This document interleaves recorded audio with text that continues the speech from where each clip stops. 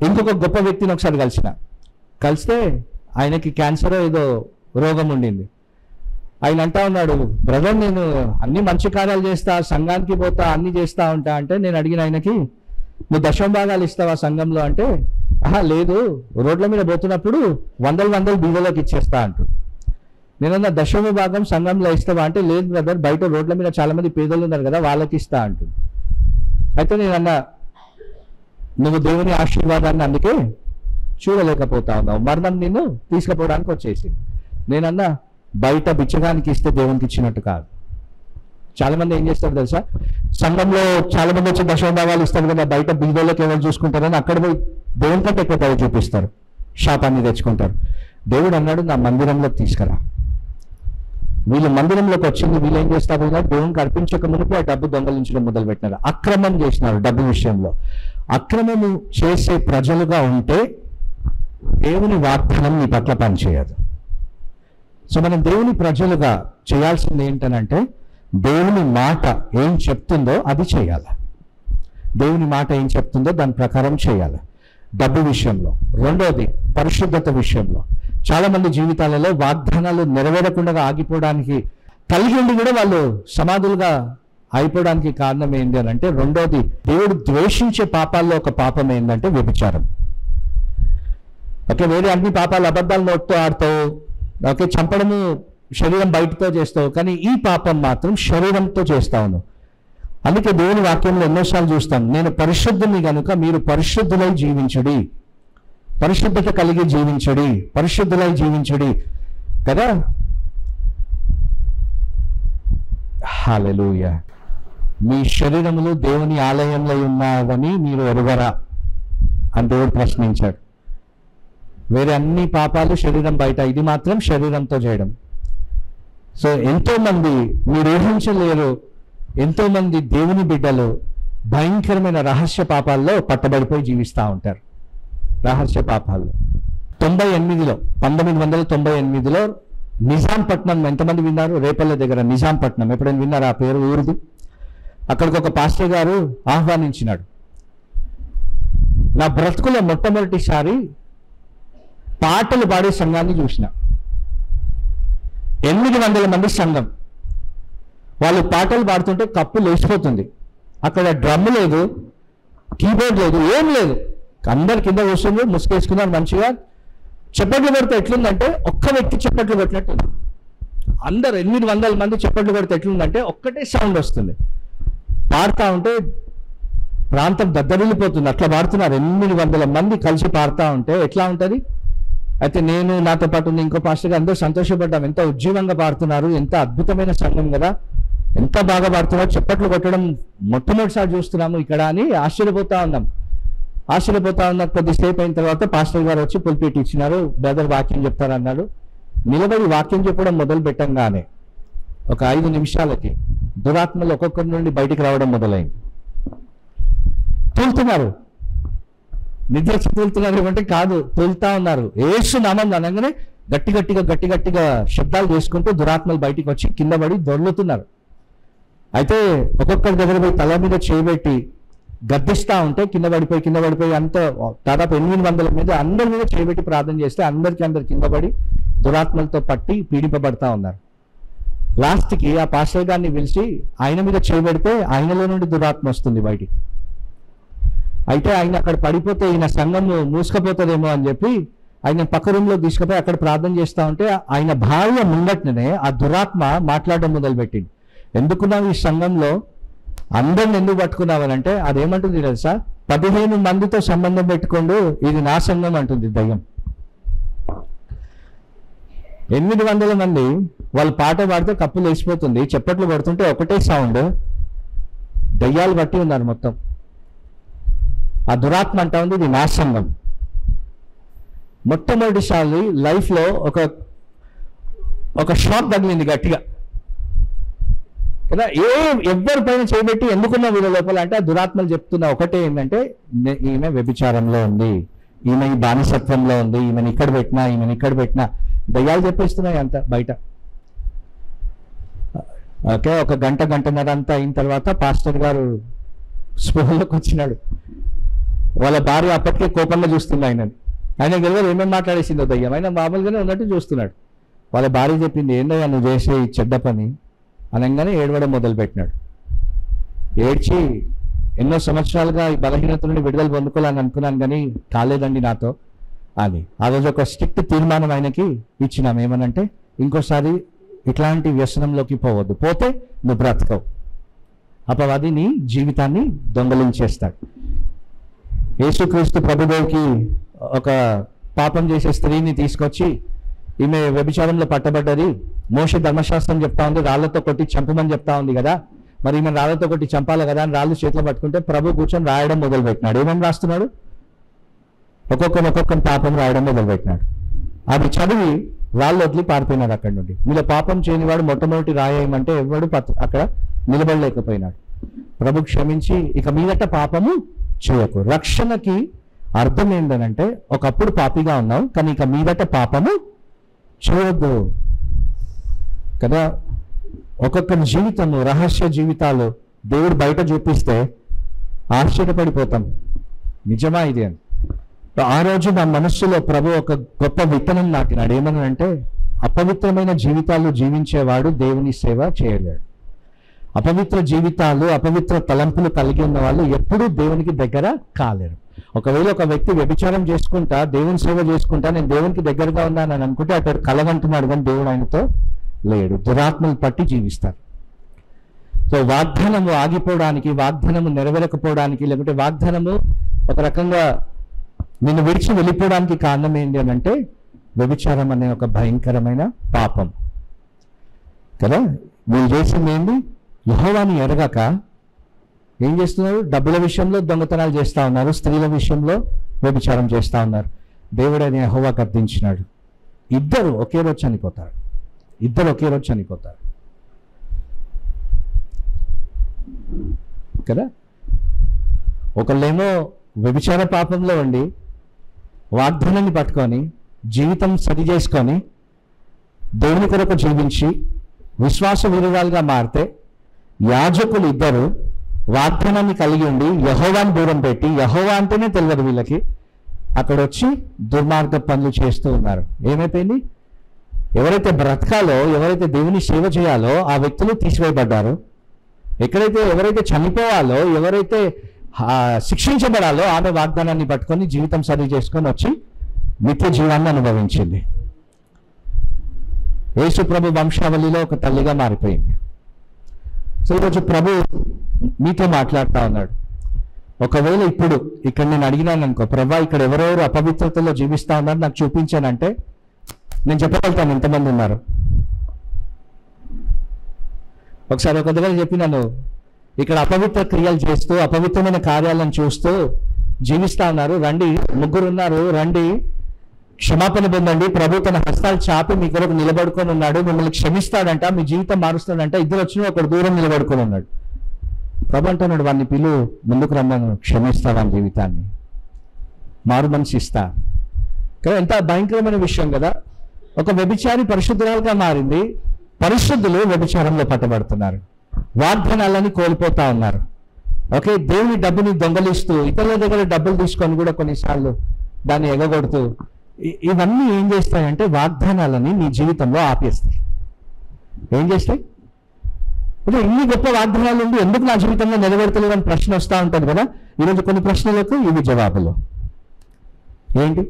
దేవునికి ఇచ్చే విషయంలో నమ్మకం ఉండకపోవడం. దేవుని మాటను అన్ని మాటలు గ్రహించి ఇది ఒకటి పక్కకు పెట్టేయడం. ఆ దేవుడు డబ్బు పెద్ద పట్టించుకోడు. ఇది డబ్బు గురించి కాదు ఆయన ఆజ్ఞ గురించి. ఆయన ఆజ్ఞాపించినాడు. నేను మిమ్మల్ని దీవిస్తాను మీ దశమ భాగం తీసుకొచ్చి నా మందిరంలో పెట్టండి. సమృద్ధి ఉండిలాగునా అని. కదా? రెండోది పరిశుద్ధంగా బతుకుమన్నాడు. చాలా మంది దాన్ని ఏమనుకుంటారు? ఓహో అదొక సలహా. ఏముంది మానవులు ఎక్కడ పరిశుద్ధంగా బతుకుతారు ఈ రోజుల్లో? అందరం మనుషులమే బలహీనతలు ఉంటాయి. కదా? అక్కడనే వాగ్దానం ఏమైపోతుంది? బ్లాక్ అవుతుంది. దేవుడు జ్ఞానం కలిగిన వాడు కదా? దేవుడు జ్ఞానవంతుడు. ఆయన పరిశుద్ధంగా బతుకోని మీతో చెప్తున్నాడు అని అంటే అది బ్రతకగలుగుతావు అని ఆయన తెలిసే చెప్తున్నాడు.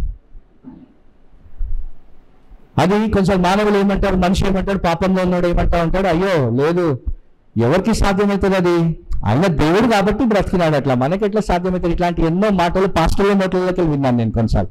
మీటింగ్ అని అయిపోయి భోజనం పెడతారు కదా? నలుగురు ఐదుగురు పాస్టర్లు వస్తూ కూర్చొని భోజనం చేస్తూ ఉంటారు కదా ఈ మాటలు మాట్లాడుతుంటారు కొన్నిసార్లు కొందరు పాస్టర్లు అయినా దేవుడు కదా అని. కదా?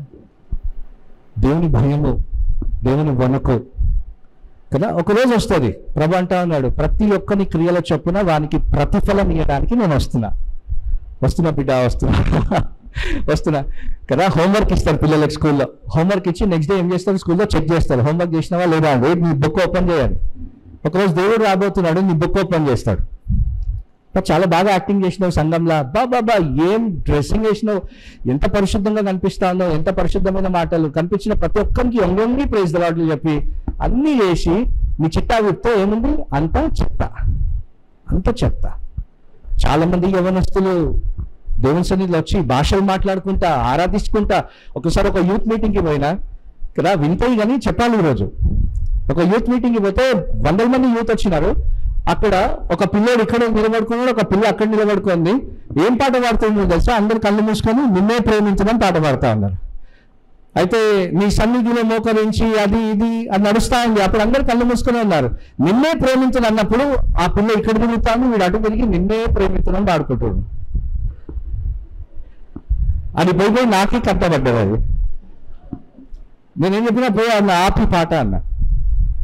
అయితే ఆ శాపం ఇంత అందరూ ఆరాధనలు ఉంటే ఈయన వచ్చి ఆపమంటాడు ఎందుకు కానీ నాన్న పాట మార్చన్నా. అయితే ఏమైందన్నా అని అడుగుతుండు. పాట మార్చుంటే ఆయన వింతగా చూసి సరే అని ఇంకో పాట పాడిండు. కదా చాలామంది ఆరాధనలో కూడా ఒకరితో ఒకరు కదా వాగ్దానం నెరవేరుతుందా అమ్మ? పరిశుద్ధుడైన దేవుడు రోషముతో వాగ్దానం చేసి నేను నీతో నిలబడతా. నువ్వు వెళ్ళిన చోట్లల్లో వస్తా. నీకు ఏ హాని రాకుండా కాపాడతా. ఏ సమస్య ఉందా అది నా సమస్య నేను పోరాడతా అని చెప్పిన తర్వాత సరే ప్రభా నీషా వాగ్దానాన్ని జేబులో వేసేసుకొని నీ కళ్ళు పోతాయి కదా. ఊరు తిరుగుతూ ఉంటాయి కళ్ళు. ఊరంతా తిరిగి ఏం దొరకకపోతే మొబైల్లోకి పోతాయి. ఎట్లా నెరవేరుతుంది వాగ్దానం? ఎట్లా చూస్తావు దేవుని వాగ్దానం? అందుకే ప్రభా నీ నామంలో అద్భుతాలు చేయలేదా? నీ నామం ఇది చేయలేదా? అది చేయలేదా? అక్రమం చేయవాళ్ళారా నా యుద్ధ నుండి కదా ఒకటి డబ్బు విషయంలో నమ్మకంగా లేకపోతే దేవుని వాగ్దానం పనిచేయదు. వాక్యంలో ఏముంది తెలుసా? అప్పు తీసుకునేవాడంట అప్పు ఇచ్చిన వానికి దాసుడు అంట ఏముంది వాక్యంలో? అప్పు చేసిన వాడు అప్పు ఇచ్చిన వానికి దాసుడు. అంటే ఎవరైనా అప్పు చేసుకుంటే వాక్యానుసారంగా నువ్వు దేవునికి దాసుడు కాదు. ఎవరికి దాసుడవు? అప్పు ఇచ్చినానికి దాసుడు. బ్యాంకుకి దాసుడవు. దేవుని మాట సత్యమా అబద్ధమా? నేను పరిచర్యలో కొత్తగా చిన్నవాడుగా పదహారు పదిహేను సంవత్సరాలలో ఉన్నప్పుడు ప్రభు నాతో మాట్లాడిన ఒక మాట నాకు నేర్పించిన ఒక విషయం ఏంటంటే నీ జీవితంలో అప్పు చేయకని చెప్పినాడు. ఏమన్నాడు నీ జీవితంలో అప్పు చేయకు నేను నిన్ను పోషిస్తా అన్నాడు. అందుకే నిన్న సాక్ష్యం చెప్పిన కదా ఎంతోమంది ఫ్రెండ్స్ ఉన్నారు. మా ఇంటి నుండి ఒక పది అడుగులు దూరం పోతే మా స్నేహితుడు ఉన్నాడు. ఓకే వాడు ఐదు వందలు అడిగినా ఇస్తాడు. కానీ ప్రభుని నమ్మి నడుచుకుంటూ ఎందుకు పోయినానంటే ప్రభు నాతో చెప్పినాడు నీ బ్రతుకులో అప్పు చేయకని. ప్రభు అన్నాడు నా వాగ్దానం ప్రకారం నా శక్తితో జీవించాను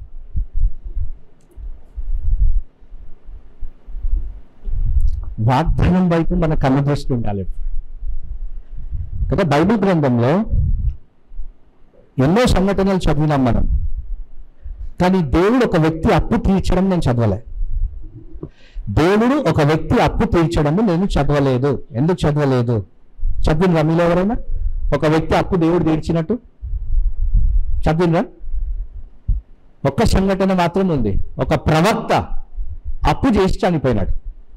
ఏం చేసి చనిపోయినాడు అప్పు చేసి చనిపోయాడు. ఆయన ఎవరు? ప్రవక్త మళ్ళా. అప్పు చేసి చనిపోతే అప్పు ఇచ్చిన వాళ్ళు ప్రవక్త భార్య ఇంటికి వస్తున్నారు. ప్రవక్త కింద ఇద్దరు పిల్లల దగ్గరకు వచ్చి భార్యతో అంటున్నారు మీ భర్త అప్పు చేసి చనిపోయిండు. అప్పు ఎవరు తీరుస్తారు? ఇద్దరు కుమారులు మాకు చెందిన వాళ్ళు అని తీసుకుపోవడానికి వచ్చినప్పుడు ఆమె అప్పుడు ప్రవక్త దగ్గరికి పోయి నా భర్త కూడా ప్రవక్తనే కానీ అప్పు చేస్తూ బతికినాడు అప్పు చేసి చనిపోయినాడు. ఇప్పుడు ఆ భారం నా మీద పడింది. అప్పులలో వచ్చి వాళ్ళ- మా పిల్లలను తీసుకుపోతున్నారు సహాయం చేయనప్పుడు అప్పుడు ఎలిషా చెప్పినాడు పోయి తలుపు పెట్టుకొని నీ ఇంట్లో ఏముందంటే నూనె ఉందంటే ఆ నూనెని మల్టిప్లై చేసుకొని అప్పు తీర్చుకోవాలి అమ్మి అన్నాడు. ఆ ఒక్క దగ్గర భార్యకి అద్భుతం జరిగింది. కానీ భర్త అప్పు తీరిందా? ప్రవక్త అయినా కూడా అప్పు చేస్తే తీరిందా? కొన్నిసార్లు చిన్న చిన్న చిన్న చిన్న అప్పులు ఎలుక సందుల్లాగా పెద్దగా అయిపోయి మీ ప్రాణాన్ని లాస్ట్కి తీసుకుంటాయి. నేను చాలా మంది జీవితాలలో ఇరవై ఏడు ఇరవై ఎనిమిది సంవత్సరాల పరిచయలో నేను గమనించింది ఏంటంటే చాలా మంది జీవితాలలో వాగ్దానం ఆగిపోవడానికి ఒక కారణం ఏంటంటే అప్పులు చేసే అలవాటు.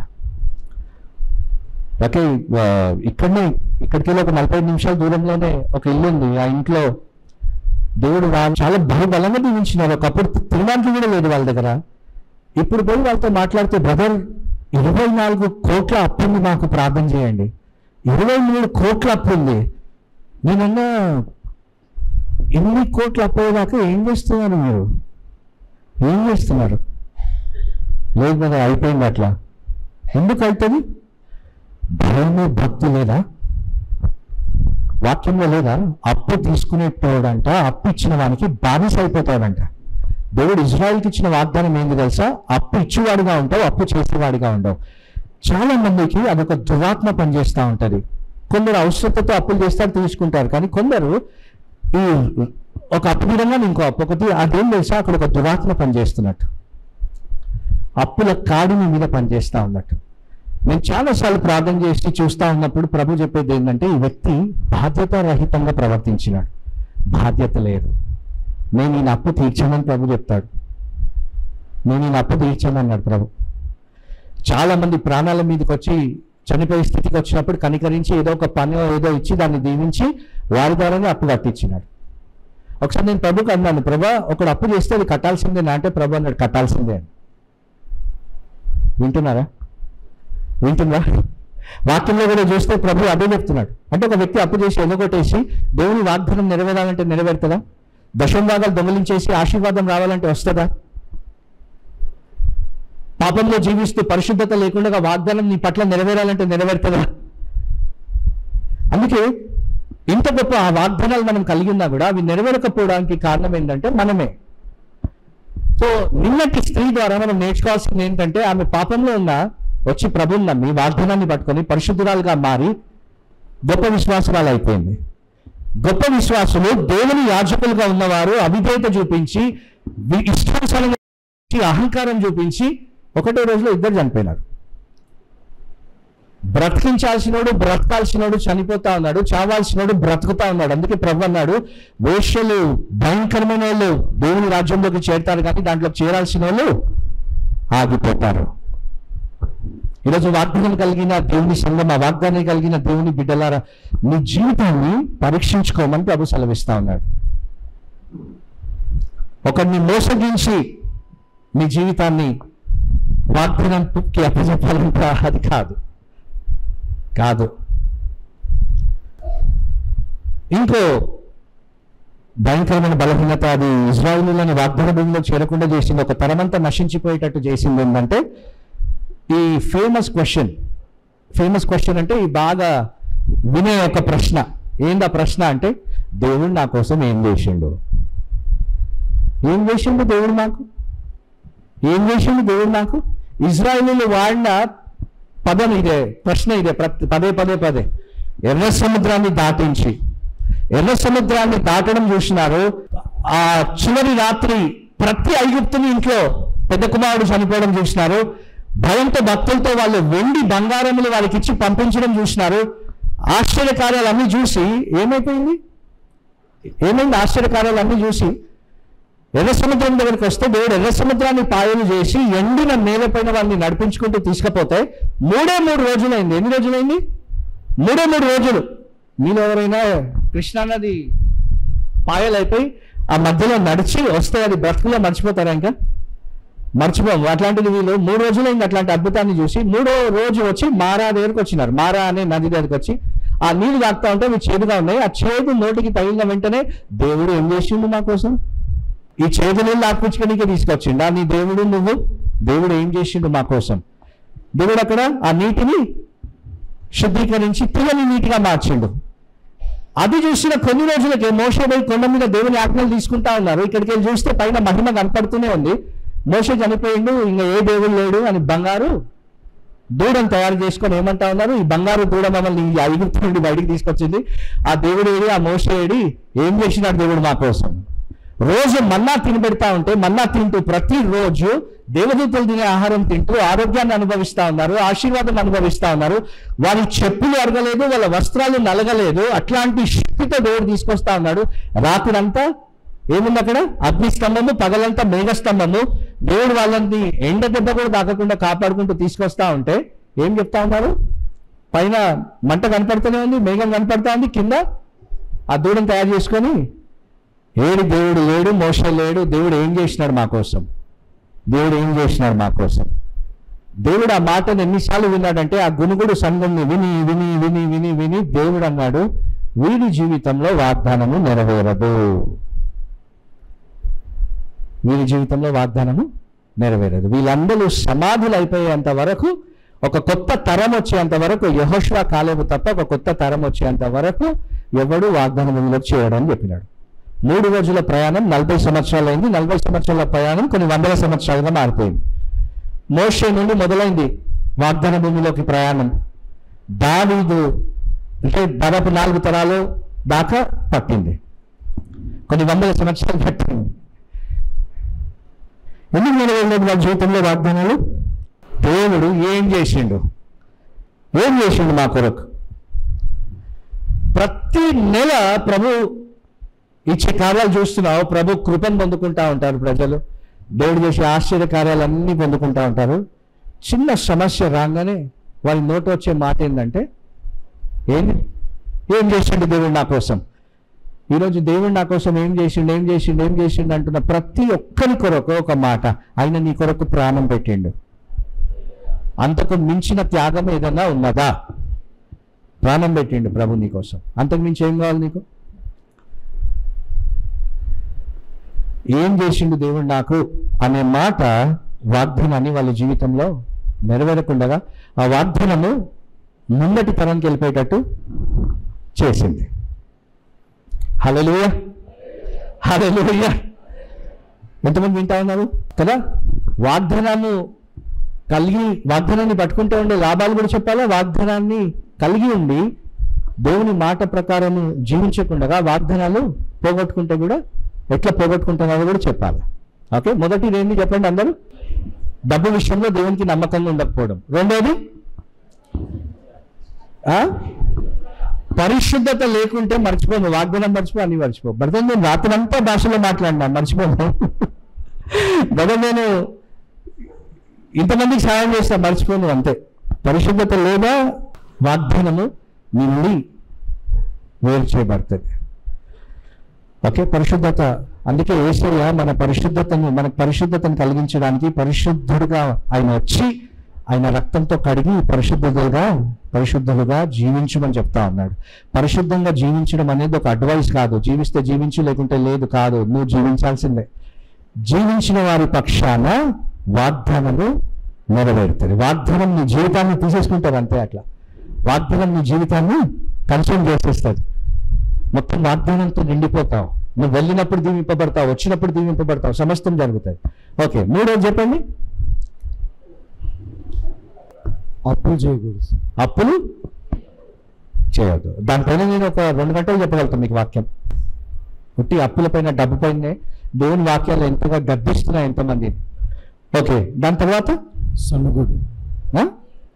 దేవుడు మనకి సనుగుడు గొనుగుడు దేవుని మందిరంలోనే ఉన్నాం కదా ఇన్ని ఏళ్ళగా వస్తున్నా కదా దేవుడు నా కోసం ఏం చేసిండు? దేవుడు నా కోసం ఏం చేసిండు? ఈ ప్రశ్న నీ వాగ్దానాన్ని దూరపరుస్తుంది నీకు. ఎప్పుడు ఆ మాట మాట్లాడొద్దు. దేవుడు కృతజ్ఞత కలిగిన హృదయాన్ని ఇష్టపడే దేవుడు. ఎట్లాంటి హృదయం? కృతజ్ఞత కలిగిన హృదయాన్ని. తొమ్మిది మంది రోగులను బాగు చేస్తే కుష్టి రోగులను ఒక్కడే వచ్చి ప్రభుకి వందనాలు చెప్తే ప్రభు ఏమన్నాడు తెలుసా? పది మంది ఉండే కదా వేరే తొమ్మిది మంది ఎక్కడ అని అడిగినాడు. అంటే దాని అర్థమైంది? ప్రభు కోరుతున్నాడు నువ్వు కృతజ్ఞత కలిగి జీవించాలని. చాలా సంవత్సరాల కిందట ఒక చర్చ్లో వాక్యం చెప్పడానికి పోయినాను. పదిహేను రోజులు ఉన్నాను ఆ చర్చ్లో. అయితే ఆ చర్చ్లో ఒక బాబుకి ఫిక్స్ వచ్చేటి అప్పుడప్పుడు.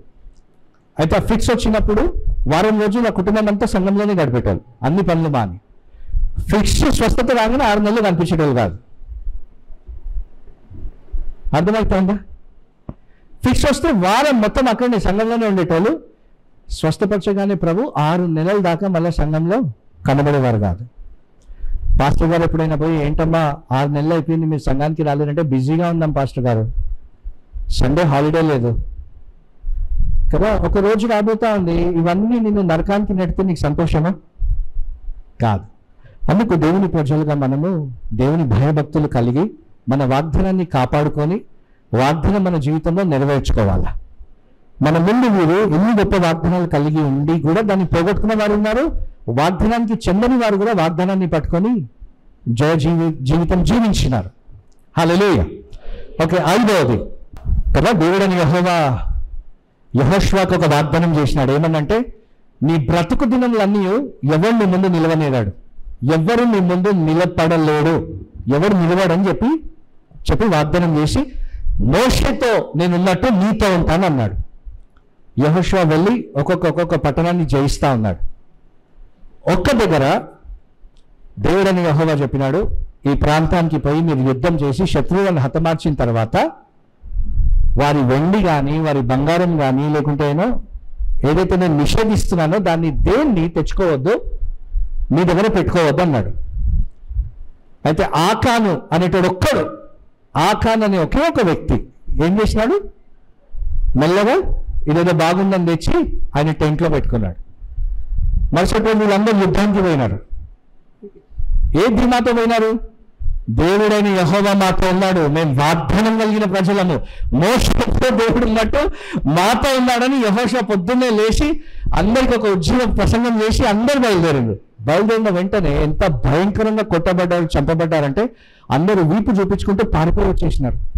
అందరు ఆశ్చర్యపోతున్నారు. ఏమైంది వాగ్దానము? మోసతో ఉన్నట్టు నేను నీతో ఉంటా అన్నాడు. నా ముందు ఎవరు నిలవలేదు అన్నారు ఇప్పటిదాకా జరిగింది. ఈ రోజు ఏమైపోయింది? ఈ రోజు ఏమైపోయింది? ఈ రోజు ఏమైపోయిందని విచారణ చేస్తే ఆఖాను ఆఖాను కుటుంబకులను అందరినీ బయటికి తీసుకొచ్చి అక్కడ ఏముందనంటే బంగారం బయటకు పడ్డది. దేవుడు నిషేధించింది తీసుకొచ్చి ఇంట్లో పెట్టుకున్నప్పుడు ఏమైపోయింది? ఇజ్రాయేలీలు మొత్తం ప్రతి ఒక్కరి మీద యహోష్వాతో పాటు వాగ్దానం ఆగిపోయింది. ఈరోజు చాలామంది దయ్యాల ద్వారా కొట్టబడడానికి కారణం ఏంటంటే దేవుడు నిషేధించింది పెట్టుకోవడం ఇంట్లో. వాగ్దానాలు ఆగిపోవడానికి కారణం ఏంటంటే దేవుడు నిషేధించింది ఇంట్లోకి చేర్చుకోవడం. నా కన్నులారా నేను ఇది చూస్తున్నాను. ఒక దైవజన్య వాళ్ళ కోసం ప్రార్థన చేస్తా ఉంది. అప్పుడే సౌత్ ఇండియా షాపింగ్ మాల్కి ఎక్కడికో పోయి మంచి చీరలు కొట్టుకొని వచ్చి అక్కడ కూర్చొని అక్కడ పెట్టుకొని ప్రార్థన చేస్తూ ఉంది. ఆమెకి ఆమెకి ప్రవచనం వస్తూ ఉంది. ఏమని ప్రవచిస్తుంది తెలుసా? దయ్యాన్ని తీసుకొచ్చి ఇంట్లో పెట్టుకున్నావు దాన్ని తీసి బయటపడేయని ప్రవచిస్తుంది ఆమెకు ఆమెనే ఆమె కళ్ళు వేసుకొని ఏంది దేవుడు ఇట్లా మాట్లాడుతున్నాడు? దయ్యం నా ఇంట్లోకి ఎక్కడికి వెళ్ళి వచ్చింది దయ్యం నా ఇంట్లోకి వెళ్ళి ఎక్కడికి వచ్చిందని లాస్ట్కి ఆ కవర్ చూస్తే ఆ కవర్ పైన ఒక బొమ్మ ఉంది. అది తీసి బయట పడేసే దాకా దేవుడు ఊకోలేదు